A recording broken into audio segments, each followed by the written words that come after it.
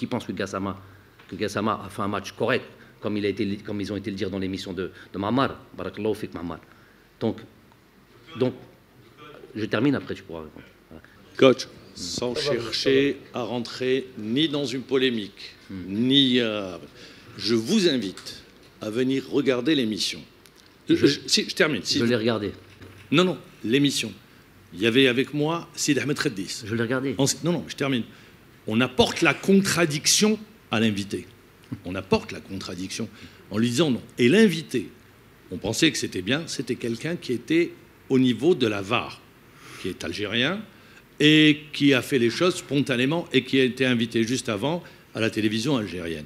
Et je le dis, il n'y avait nulle euh, envie ni euh, de donner raison à Gassama. ni- Et d'ailleurs, Sid Ahmed Reddis apporte la contradiction en disant Je ne suis pas d'accord sur ça, ça, ça, euh, il y a des erreurs. Voilà, c'est tout ce que je voulais apporter et elle est disponible. Merci.